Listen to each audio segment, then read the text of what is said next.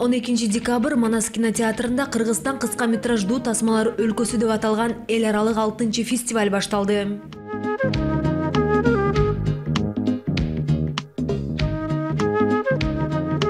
Кыргызстан кыска метраждуу тасмалардын өлкөсү деген жакшылыгы фестивалыбызга кош келипсиздер деп бир жакшылыгы болушалары менен бүгүнкү салтанаттуу иш чараны ачык деп жаралып койгула болчоңуздар болсун На 4-5 дней, где устанавливается закон праздника, где молодые кинематографисты могут пообщаться друг с другом, а, где молодые кинематографисты могут поделиться идеями друг с другом, а также найти площадки а, для новых проектов. Это, наверное, главное.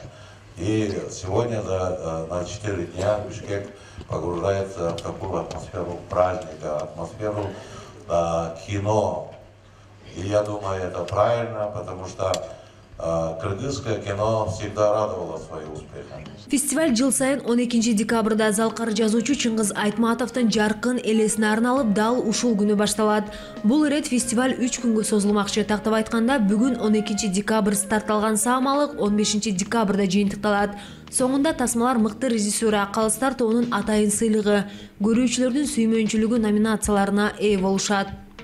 Буюрса эки конкурсубуз болот улуттук жана эл аралык болуп жанр жагынан же тема жагынан эч кандай чектөөлөрүбүз жок. Анткени бул баардык каалоочулар жана кино сүйүүчүлөр жана профессионалдар үчүн жана болочокто окуп жаткан студенттерибиз үчүн дагы Э, эл аралык конкурска снг грузия балтия өлкөлөрүнөн ар бир өлкөдөн бирден катышуучу катыша алат.